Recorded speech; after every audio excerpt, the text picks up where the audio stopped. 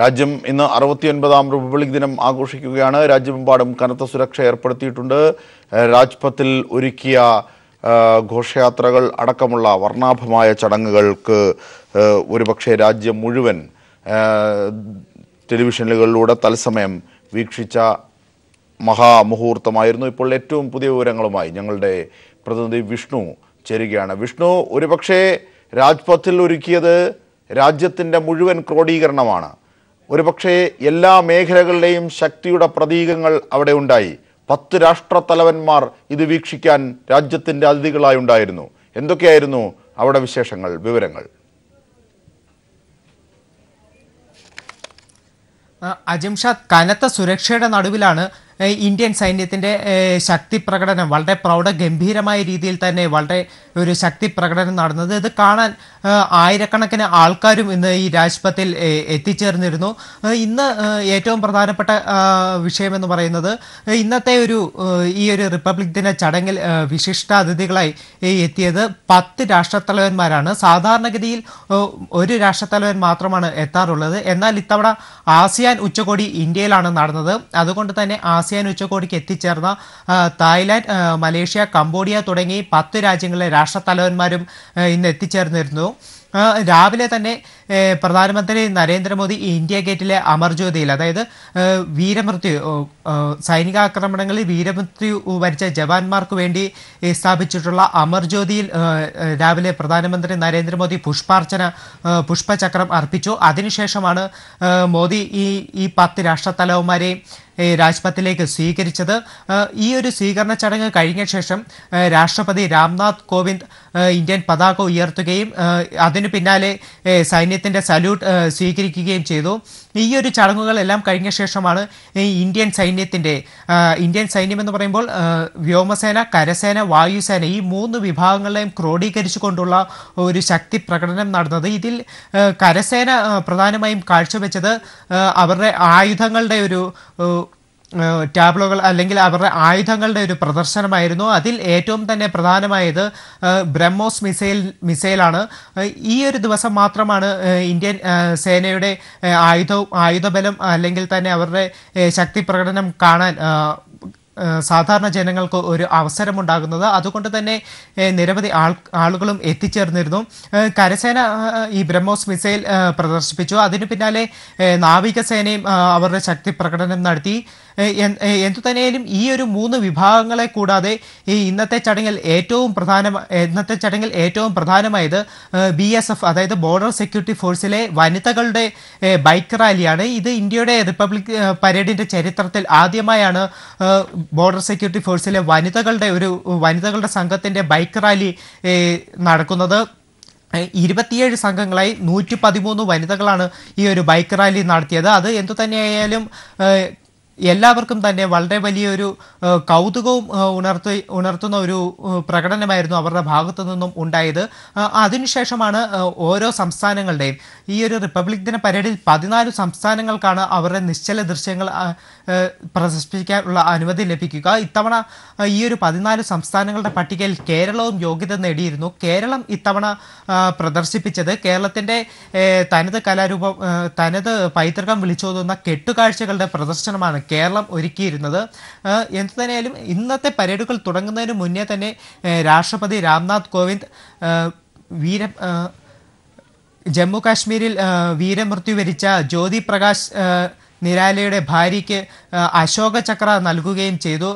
നൽകിയ ഒരു ആദരിക്കുന്ന ചടങ്ങുമുണ്ടായിരുന്നു. ആ ഒരു ചടങ്ങുകളെല്ലാം ചടങ്ങിന് ശേഷമാണ് പരേഡുകൾ തുടങ്ങിയത്.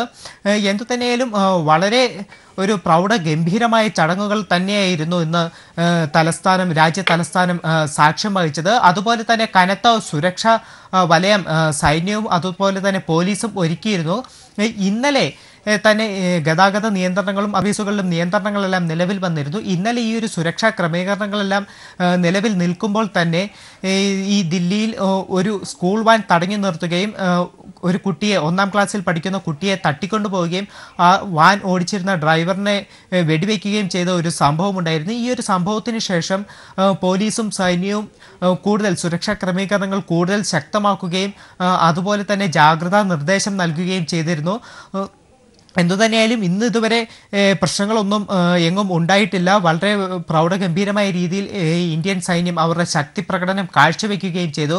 എന്നിരുന്നാലും ഇപ്പോൾ ഒരു വിവാദം കൂടി ഉണ്ടായിരിക്കുകയാണ്. ഈ ഒരു വിവാദം കോൺഗ്രസ് അധ്യക്ഷനായ രാഹുൽ ഗാന്ധിക്ക് ഇന്നത്തെ പരേഡ് പരേഡ് വീക്ഷിക്കാൻ സീറ്റ് അനുവദിക്കുന്നതിനെ ചൊല്ലി ഒരു വിവാദമാണ് ഉണ്ടായിരിക്കുന്നത്. അതായത് സാധാരണഗതിയിൽ കഴിഞ്ഞ വർഷം വരെ കോൺഗ്രസ് അധ്യക്ഷയായിരുന്ന സോണിയാഗാന്ധിക്ക് മുൻനിരയിലായിരുന്നു സീറ്റ് അനുവദിച്ചിരുന്നത്. എന്നാൽ ഇത്തവണ കോൺഗ്രസ് അധ്യക്ഷൻ രാഹുൽ ഗാന്ധി രാഹുൽ ഗാന്ധി കോൺഗ്രസ് അധ്യക്ഷനായി സ്ഥാനം ഏറ്റെടുത്തു കഴിഞ്ഞ് ആദ്യമായി ഉള്ള ഒരു റിപ്പബ്ലിക് റിപ്പബ്ലിക് ദിന പരേഡാണ്.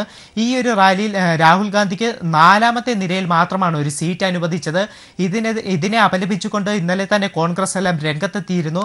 രാഹുൽ ഗാന്ധിയും ഇന്നലെ ഇതിനെതിരെ പ്രതികരിച്ചത് ഇത് ഈ ഒരു പത്ത് രാഷ്ട്രത്തലവന്മാർ ആസിയാൻ ഉച്ചകോടിക്കെത്തിയ പത്ത് രാഷ്ട്രത്തലവന്മാർ അതിഥികളായി എത്തുന്ന ഒരു ചടങ്ങ് ഇതിൽ കോൺഗ്രസിനെ അപമാനിക്കാനുള്ള ഒരു ബോധപൂർവമായ ശ്രമം കേന്ദ്ര സർക്കാരിന്റെ ഭാഗത്തു നിന്നും ഉണ്ടായി എന്ന് ഇന്നലെ തന്നെ രാഹുൽ ഗാന്ധിയും വിമർശിച്ചിരുന്നു. എന്തു തന്നെയായാലും രാഹുൽ ഗാന്ധി വ്യക്തമാക്കിയിരുന്നത് ഇന്നലെ തന്നെ വ്യക്തമാക്കിയത് ഇന്നത്തെ ഒരു റാലി കാണാൻ എത്തുമെന്ന് വ്യക്തമാക്കിയിരുന്നു. അതുപ്രകാരം ഇന്ന് രാഹുൽ ഗാന്ധിക്ക് നൽകിയ നാലാമത്തെ റോയിൽ രാഹുൽ ഗാന്ധിക്ക് നൽകിയ സീറ്റിൽ വരികയും അവിടെ ഇരുന്ന് തന്നെ ഈ ഒരു റാലി വീക്ഷിക്കുകയും ചെയ്തു. അതിനുശേഷം രാഹുൽ ഗാന്ധി അതായത് വിഷ്ണു ശരിയാണ് രാജ്യം പ്രൗഢഗംഭീരമായ ഒരു ഒരു മുഹൂർത്തത്തിലൂടെ കടന്നു പോകുന്ന ഘട്ടത്തിൽ ഒരുപക്ഷെ ഇതൊന്നും പറയുക ഔചിത്യമാകില്ല ആദ്യഘട്ടത്തിൽ എങ്കിൽ പോലും ചർച്ച ചെയ്യാതെ വയ്യ. ഇന്നലെ അത്രയേറെ വിവാദങ്ങൾ ഈ വിഷയത്തിൽ സൃഷ്ടിച്ചിരുന്നു. കേന്ദ്ര സർക്കാരിന്റെ ഒരു അസഹിഷ്ണുത മനോഭാവമാണ് രാഹുൽ ഗാന്ധിയോട് കാട്ടിയതെന്ന്. പക്ഷേ രാഹുൽ ഗാന്ധി ഈ നാലാം നിരയിൽ പിൻനിരയിൽ എത്തി ഇന്നത് റിപ്പബ്ലിക് ദിനം വീക്ഷിച്ചു. അല്ലെങ്കിൽ ചടങ്ങുകൾ വീക്ഷിച്ചു. പക്ഷേ ബി ജെ പി അധ്യക്ഷൻ അമിത്ഷായും കുടുംബവും ഏറ്റവും മുൻനിരയിലുണ്ടായിരുന്നു. വിഷ്ണു തീർച്ചയായും ജിംഷാദ് ഇത് ഈ ഒരു പ്രശ്നം തന്നെയാണ് കോൺഗ്രസിനെ ഏറ്റവും അധികം പ്രകോപിപ്പിച്ചത്. അതായത് ബി ജെ പി ദേശീയ അധ്യക്ഷൻ അമിത്ഷായ്ക്കും കുടുംബത്തിനും മുൻനിരയിൽ തന്നെ സീറ്റ് നൽകുകയും ഈ ഒരു സീറ്റ് നൽകുമ്പോൾ തന്നെ രാജ്യത്തെ പ്രതിപക്ഷ പാർട്ടിയാണ് കോൺഗ്രസ്. ഈ ഒരു കോൺഗ്രസിന്റെ ഉപ കോൺഗ്രസിന്റെ അധ്യക്ഷനായ രാഹുൽ ഗാന്ധിക്ക് പിന്നിലേക്ക് സീറ്റ് അനുവദി അനുവദിക്കുകയും ചെയ്ത ഒരു നടപടി. അത് തികച്ചും അപലപനീയമായിട്ടുള്ള ഒരു കേന്ദ്ര സർക്കാരിന്റെ ഭാഗത്തു നിന്നും ഉണ്ടായ ഒരു നടപടിയാണെന്ന് ഇന്നലെ വലിയ രീതിയിൽ തന്നെയുള്ള വിമർശനങ്ങളും പ്രതിഷേധങ്ങളും ഉയർന്നിരുന്നു. ഇത് ഇപ്പോൾ ഈ കേന്ദ്ര സർക്കാർ ബോധപൂർവമായി ഈ കോൺഗ്രസിനെ അപമാനിക്കാനുള്ള ഒരു ശ്രമമാണ് നടത്തുന്നത്. ഈ ഒരു തരത്തിലാണ് ഇപ്പോൾ വിവാദങ്ങളും പ്രതിഷേധങ്ങളും എല്ലാം തന്നെ ഉയർന്നു വരുന്നത്. എന്തു തന്നെയായാലും ഏറ്റവും ഇന്ന് റാലിക്ക് നമ്മൾ കണ്ടതാണ് അമിത്ഷായും കുടുംബവും ഇതിന്റെ മുൻനിരയിൽ തന്നെ ഇരിക്കുന്നു. മറ്റ് കേന്ദ്രമന്ത്രിമാർക്കൊപ്പം മുൻനിരയിൽ ഇരിക്കുന്നു. അതോടൊപ്പം രാഹുൽ ഗാന്ധി ഈ ഈ പ്രതിഷേധങ്ങളെല്ലാം അറിയിച്ചെങ്കിലും ഇന്നലെ വ്യക്തമാക്കിയതുപോലെ തന്നെ നാലാം നിരയിൽ വന്നിരുന്ന് ഇതെല്ലാം വീക്ഷിക്കുകയും ചെയ്തിരുന്നു. എന്തു തന്നെയാലും ഈ ഒരു കേന്ദ്ര സർക്കാരിന്റെ നടപടിയിൽ പ്രതിഷേധിച്ച് രാഹുൽ ഗാന്ധി മറ്റ് ഇന്ന് എത്തിയ ആസിയാൻ ഉച്ചകോടിക്കെത്തിയ മറ്റ് പ്രധാനമന്ത്രിമാരുമായി സംസാരിക്കാനോ സംവദിക്കാനോ ഒന്നും തയ്യാറായില്ല. അത് തികച്ചും കേന്ദ്ര സർക്കാരിന്റെ ഈ ഒരു അസഹിഷ്ണുതാപരമായിട്ടുള്ള നടപടിയിൽ പ്രതിഷേധിച്ചുകൊണ്ട് തന്നെയാണ് രാഹുൽ ഗാന്ധിയും ഇങ്ങനെയൊരു നടപടി സ്വീകരിച്ചത് എന്ന് തന്നെയാണ് ഇപ്പോൾ എല്ലാ വൃത്തങ്ങളും ചൂണ്ടിക്കാട്ടുന്നത്. ശരി വിഷ്ണു. വിഷ്ണുവാണ് ഏറ്റവും പുതിയ വിവരങ്ങൾ ദില്ലിയിൽ നിന്നും നൽകിയത്. സംസ്ഥാനവും വിപുലമായി റിപ്പബ്ലിക് ദിനം ആഘോഷിച്ചു. തിരുവനന്തപുരത്ത് ഗവർണർ ജസ്റ്റിസ് പി സദാശിവം ദേശീയ പതാക ഉയർത്തി. വികസന കാര്യത്തിൽ സംസ്ഥാന സർക്കാരിന്റെ പ്രവർത്തനങ്ങളെ ഗവർണർ അഭിനന്ദിച്ചു. യുവാക്കൾ രാഷ്ട്രീയ വർഗീയ സംഘർഷങ്ങളുടെ ഇരകളാകുന്നതിൽ ആശങ്ക രേഖപ്പെടുത്തിയ ഗവർണർ ഇതിനെതിരെ സമൂഹം ജാഗ്രത പാലിക്കണമെന്നും റിപ്പബ്ലിക് ദിന സന്ദേശത്തിൽ ആവശ്യപ്പെട്ടു. പ്രൗഢമായാണ് സംസ്ഥാനവും അറുപത്തിയൊൻപതാമത് റിപ്പബ്ലിക് ദിനം ആഘോഷിച്ചത്. തിരുവനന്തപുരം സെൻട്രൽ സ്റ്റേഡിയത്തിൽ ഗവർണർ ജസ്റ്റിസ് പി സദാശിവം ദേശീയ പതാക ഉയർത്തി.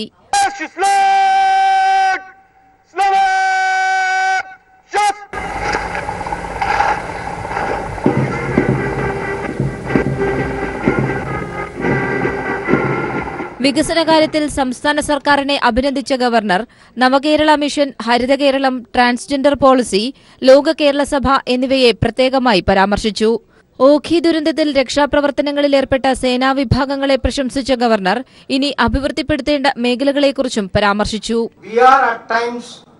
disturbed by the tendency of some of our youth falling prey to political and communal feuds. More disturbing is the alleged participation of some people in terror outfits both in India and in other countries.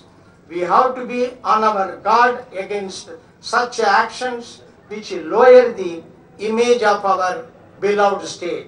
വ്യോമസേന squadron leader Kanwar Taban ജംബാൽ നേതൃത്വം നൽകിയ പരേഡിന് governor അഭിവാദ്യം സ്വീകരിച്ചു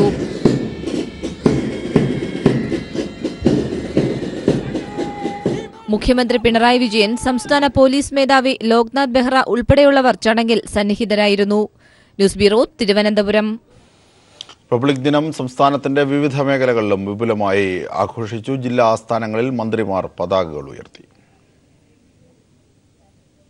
Kasaragod Vidyanagar municipal സ്റ്റേഡിയത്തിലാണ് republic ദിന parade നടന്നത്. Revenue മന്ത്രി ഇ ചന്ദ്രശേഖരൻ ദേശീയ പതാക ഉയർത്തി അഭിവാദ്യം സ്വീകരിച്ചു. കണ്ണൂരിൽ പോലീസ് മൈതാനിയിൽ നടന്ന ചടങ്ങിൽ മന്ത്രി കെ കെ ശൈലജ ടീച്ചർ പതാക ഉയർത്തി.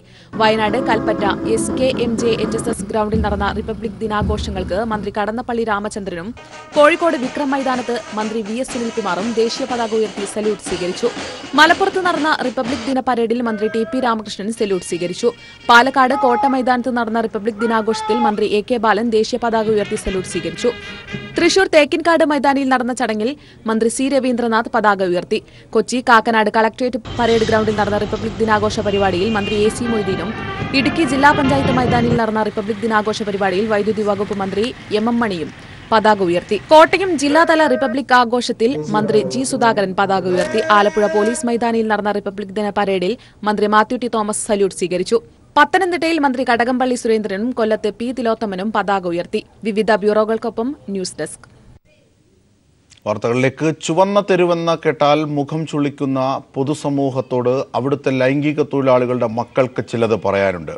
തൃശൂരിൽ നടക്കുന്ന അന്താരാഷ്ട്ര നാടകോത്സവത്തിന്റെ ആറാം ദിവസം അരങ്ങിലെത്തിയ റെഡ് ലൈറ്റ് എക്സ്പ്രസ് എന്ന നാടകം പൊള്ളുന്ന ചില യാഥാർത്ഥ്യങ്ങൾ വിളിച്ചു പറഞ്ഞാണ് പ്രേക്ഷകരുടെ മനസ്സിലിടം നേടിയത് അന്താരാഷ്ട്ര ശ്രദ്ധ കൈവരിച്ച ഈ നാടകം ബ്രിട്ടൻ അടക്കം പല വിദേശ രാജ്യങ്ങളിലും ഇതിനോടകം പ്രദർശനം കാഴ്ചവെച്ചു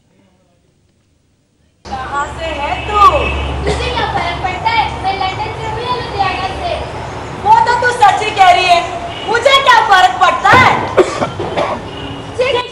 മുംബൈയിലെ ചുവർണ തെരുവ് എന്ന് കേട്ടാൽ പലതരം ഭാവഭേദങ്ങൾ മിന്നിമറയുന്ന മുഖങ്ങൾക്ക് നേരെ കാർക്കിച്ചു തുപ്പുന്ന ലാഘവത്തോടെ ആ പതിനാല് പെൺമണികൾ അരങ്ങു തകർത്തു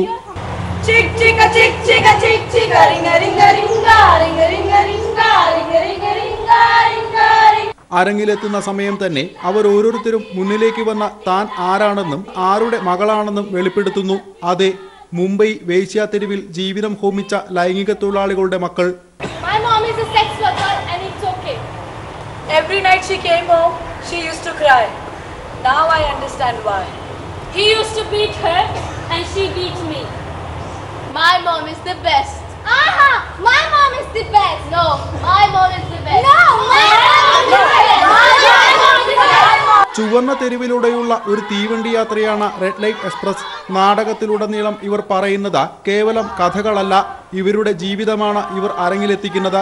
കഥയ്ക്കപ്പുറം കഥാപാത്രങ്ങളാകുന്നവർ ജീവിതം പറഞ്ഞപ്പോൾ ഭാഗവാക്കാകാൻ പ്രേക്ഷകരിൽ ചിലരും കൂടി.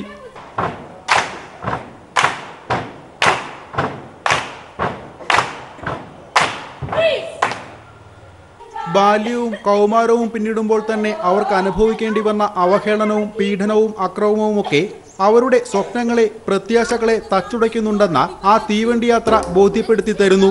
ഞങ്ങൾക്കൊപ്പം ചിരിക്കാൻ നിങ്ങൾക്ക് സാധിക്കുമെങ്കിൽ വേവലാതിപ്പെടാനും ആശ്വാസവാക്ക് പറയാനും നിങ്ങൾക്ക് സാധിക്കുമെങ്കിൽ ഞങ്ങളുടെ പ്രശ്നങ്ങൾ പരിഹരിക്കാനും നിങ്ങൾക്ക് കഴിയുമെന്ന നാടകത്തിലൂടെ പറയുകയാണ് ഇവർ. ചുവർണ തെരുവിൽ ജീവിതം ഹോമിച്ചവരുടെ മക്കളുടെ ഉന്നമനത്തിനായി പ്രവർത്തിക്കുന്ന സന്നദ്ധ സംഘടനയായ ക്രാന്തിയാണ് സംവിധായകരില്ലാത്ത ഈ നാടകം അരങ്ങിലെത്തിക്കുന്നത്. News bureau Thrissur.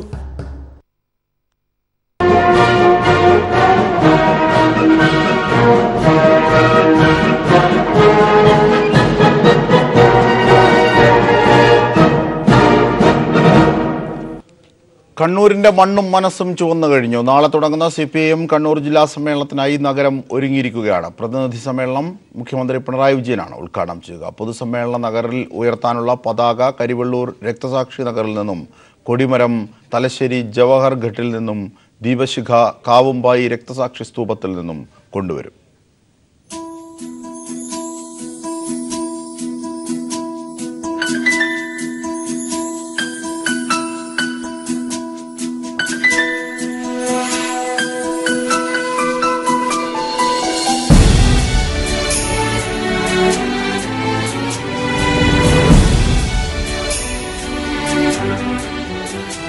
കണ്ണൂരിൽ ചെങ്കൊടികൾ വാനിലുയർന്ന് പറക്കുകയാണ്. വ്യത്യസ്തങ്ങളും വൈവിധ്യങ്ങളും മാർന്ന പ്രചരണങ്ങൾക്കാണ് കണ്ണൂർ ഇത്തവണ സാക്ഷിയായത്.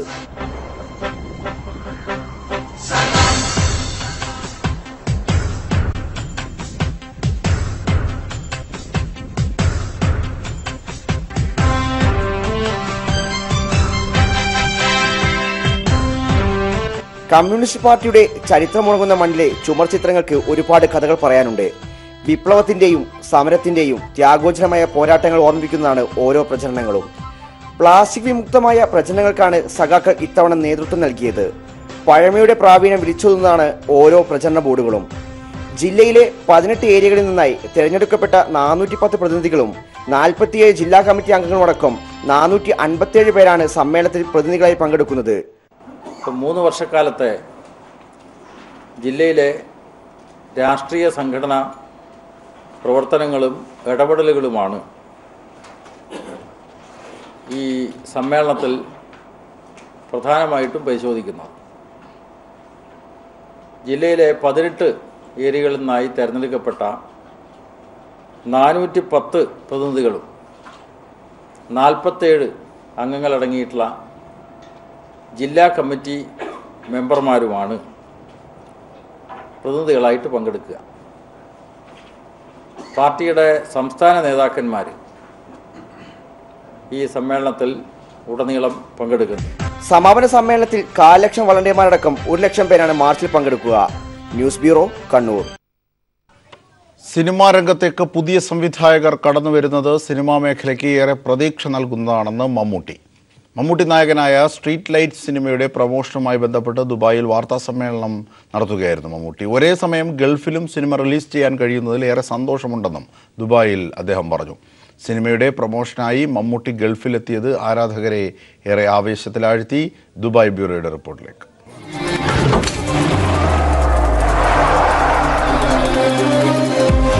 നിരവധി സിനിമകളിൽ പോലീസ് ഓഫീസറുടെ വേഷം ഉജ്ജ്വലമാക്കിയ മമ്മൂട്ടി വീണ്ടും ഒരു പോലീസ് ഉദ്യോഗസ്ഥനായി വേഷമിടുകയാണ് സ്ട്രീറ്റ് ലൈറ്റ് എന്ന ചിത്രത്തിലൂടെ. ഷംദത്ത് സൈന്യത്തിന് സംവിധാനം ചെയ്യുന്ന സിനിമ വെള്ളിയാഴ്ച ഇന്ത്യയിലും ഗൾഫിലും റിലീസ് ചെയ്യുമ്പോൾ ഏറെ ആവേശത്തിലാണ് ആരാധകർ. ഗൾഫിലെ റിലീസിന് ആവേശം പകരാൻ മമ്മൂട്ടി തന്നെ ദുബായിലെത്തി. പുതിയ സംവിധായകരും ചലച്ചിത്ര പ്രവർത്തകരും കടന്നു വരുന്നത് പ്രോത്സാഹിപ്പിക്കപ്പെടേണ്ടതാണെന്ന് മമ്മൂട്ടി ദുബായിൽ നടത്തിയ വാർത്താ സമ്മേളനത്തിൽ പറഞ്ഞു. കഴിവുള്ള ആളുകൾക്ക് നമ്മളൊരു അവസരം കൊടുക്കാം. അല്ലെങ്കിൽ പുതിയ സംവിധായകർക്ക് പുതിയ കാര്യങ്ങൾ പറയണമെന്നുള്ളത് തന്നെയാണ് പ്രധാനമായിട്ടുള്ള കാര്യം. ഒരു സിനിമയുടെ പ്രൊമോഷനായിട്ട് പക്ഷേ ദുബായിലൊക്കെ ആദ്യമായിട്ടാണെങ്കിൽ ഒരു പ്രസ് കോൺഫറൻസും ഒരു പ്രീമിയറും ഒക്കെ ആയിട്ട് വരുന്നത്. പ്രധാനമായിട്ട് അതിനുള്ളൊരു കാരണം എന്ന് പറഞ്ഞാൽ സാധാരണ മലയാള സിനിമകൾ അതിന്റെയൊക്കെ നാട്ടിൽ റിലീസ് ചെയ്യുന്ന സമയത്ത് ഈ ഒരുപാട് നാട്ടുകാരുള്ള ഈ ജി സി സിയിൽ റിലീസ് ചെയ്യാറില്ല. പക്ഷെ എന്നാലും കഴിഞ്ഞ ഞങ്ങൾ നിർമ്മിച്ച വർഷം എന്ന് പറഞ്ഞ സിനിമയും കേരളത്തോടൊപ്പം ജി സി സിയിൽ റിലീസ് ചെയ്യാൻ ഞങ്ങൾക്ക് സാധിച്ചു. പ്ലേ ഹൗസ് എന്ന് പറഞ്ഞ കമ്പനിക്ക് അതിന് ഫാസ്റ്റ് വളരെ ആത്മാർത്ഥമായ സഹകരണം ഉണ്ടായിട്ടുണ്ട്. അത് വീണ്ടും അങ്ങനെ ഒരു സന്തോഷം ദുബായിലുള്ള അല്ലെങ്കിൽ ജി സി സിയിലുള്ള മലയാള സിനിമാ പ്രേമികൾക്ക് അത് ഏത് ഭാഷക്കാരായാലും ഏത് നാട്ടുകാരായാലും ഏത് ദേശക്കാരായാലും മലയാള സിനിമാ പ്രേമികൾക്ക് വളരെയേറെ സന്തോഷം പകരുന്ന ഒരു കാര്യമാണ്. അന്വേഷിക്കണം.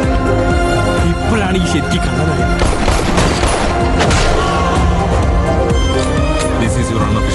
ഞാൻ ഈ കേസ് അന്വേഷിക്കുന്നതിന് ഒരു പ്രത്യേക കാരണമാണ് ഒരു ദിവസം പുലർച്ചെ ആരംഭിച്ച് അടുത്ത ദിവസം പുലർച്ചെ വരെ നടക്കുന്ന സംഭവങ്ങളാണ് സ്ട്രീറ്റ് ലൈറ്റ് കൈകാര്യം ചെയ്യുന്നത്. സിനിമയെക്കുറിച്ച് ഏറെ പ്രതീക്ഷയുണ്ടെന്ന് സംവിധായകൻ ഷംദത്ത് സൈനുദ്ദീൻ പറഞ്ഞു. ദുബായിൽ നടന്ന വാർത്താ സമ്മേളനത്തിൽ നടന്മാരായ സൗബിൻ ഷാഹിർ സോഹൻ സീലുലാൽ എന്നിവരും പങ്കെടുത്തു. T Jamaluddin Dubai. ജനാധിപത്യത്തിന്റെ അർത്ഥപൂർണമായ നിലനിൽപ്പിനും സമ്മതിദാനത്തിന്റെ പ്രാധാന്യം ജനങ്ങൾ ഉൾക്കൊള്ളണമെന്ന് പത്തനംതിട്ട ജില്ലാ collector R Girija. Collectorate conference ഹാളിൽ ദേശീയ സമ്മതിദായക ദിനാഘോഷത്തിന്റെ ജില്ലാതല ഉദ്ഘാടനം നിർവഹിക്കുകയായിരുന്നു കളക്ടർ. തിരഞ്ഞെടുപ്പുകളിൽ ജനങ്ങൾ വോട്ട് ചെയ്യുന്നത് കുറഞ്ഞു വന്ന സാഹചര്യത്തിലാണ് എല്ലാ വർഷവും ജനുവരി ഇരുപത്തിയഞ്ച് ദേശീയ സമ്മതിദായക ദിനമായി ആചരിക്കുവാൻ തെരഞ്ഞെടുപ്പ് കമ്മീഷൻ തീരുമാനിച്ചത്. പൗരന്റെ പ്രധാനപ്പെട്ട കർത്തവ്യമാണ് തെരഞ്ഞെടുപ്പുകളിൽ വോട്ടവകാശം വിനിയോഗിക്കുക എന്നത്. ഇതിൽ നിന്ന് പിന്നാക്കം പോകുന്നത് നമ്മുടെ ജനാധിപത്യ സംവിധാനത്തെ ദുർബലപ്പെടുത്തുന്നതിന് കാരണമാകും. ജനാധിപത്യത്തിന്റെ അർത്ഥപൂർണമായ നിലനിൽപ്പിന് സമ്മതിദാനാവകാശത്തിന്റെ പ്രാധാന്യം ഏറെ വലുതാണെന്ന് ജില്ലാ കലക്ടർ ആർ ഗിരിജ പറഞ്ഞു. ജനാധിപത്യ പ്രക്രിയ കുറച്ചും കൂടി ശക്തിപ്പെടുത്തുന്നതിന്റെ ഭാഗമായിട്ടാണ് നമ്മൾ ഈ നാഷണൽ വോട്ടേഴ്സ് ഡേ രാജ്യമെമ്പാടും ആചരിക്കുന്നതും. അതേപോലെ തന്നെ നമ്മൾ കഴിഞ്ഞ ഇലക്ഷൻ ഒക്കെ കണ്ടതാണ്. സ്വീപ് എന്ന് പറഞ്ഞ പരിപാടി ആവിഷ്കരിച്ച് നടപ്പാക്കിയതും ജനങ്ങളെല്ലാവരും ഈ ജനാധിപത്യ പ്രക്രിയയിൽ പങ്കെടുക്കണമെന്നും അത് ആ സമ്മതിദാന അവകാശം കൃത്യമായിട്ട് നിർവഹിക്കണമെന്നുമുള്ള ഒരു സന്ദേശം ജനങ്ങളിൽ എത്തിക്കുന്നതിന് വേണ്ടിയിട്ടാണ് ഈ പ്രോഗ്രാമുകളെല്ലാം നടപ്പാക്കി വരുന്നത്. A D M Anu S Nair അധ്യക്ഷത വഹിച്ച ചടങ്ങിൽ ചലച്ചിത്ര താരം മാസ്റ്റർ അജാസ് മുഖ്യാതിഥിയായിരുന്നു. ദേശീയ സമ്മതിദായക ദിനാഘോഷത്തോടനുബന്ധിച്ച് ജില്ലയിലെ ഒമ്പത് മുതൽ പന്ത്രണ്ട് വരെ ക്ലാസുകളിലെ വിദ്യാർത്ഥികൾക്കായി നടത്തിയ തെരഞ്ഞെടുപ്പ് ക്യുസ് മത്സരത്തിലെ വിജയികളായവർക്കുള്ള സമ്മാനങ്ങളും കന്നി വോട്ടർമാരായ അജു പോൾ പ്രവീൺ നിതിൻ രാജ് എന്നിവർക്കുള്ള തിരിച്ചറിയൽ കാർഡുകളും ചടങ്ങിൽ സമ്മാനിച്ചു. News bureau Pathanamthitta.